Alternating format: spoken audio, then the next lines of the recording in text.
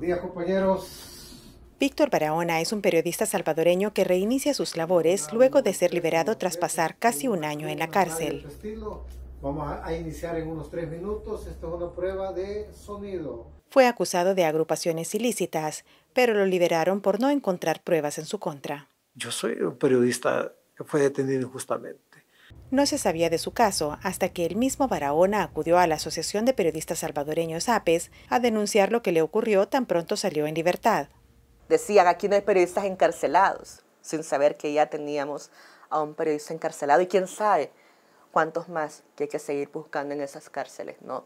Barahona solía tener un programa en donde emitía posturas críticas al gobierno. Ahora ha retomado labores, pero con un giro en los temas.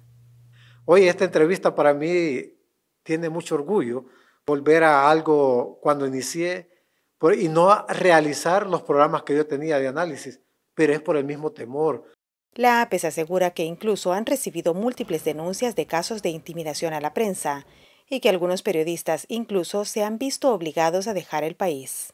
Tenemos 17 casos de periodistas eh, que han sido movilizados ¿no? por el tema del régimen y de estos cinco se han ido de forma permanente. Estamos hablando de exilio. ¿no? Que el señor presidente reflexione y sus autoridades, que no somos enemigos la prensa.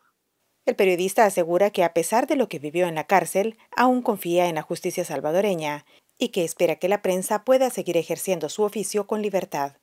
Claudia Saldaña, Voz de América, El Salvador.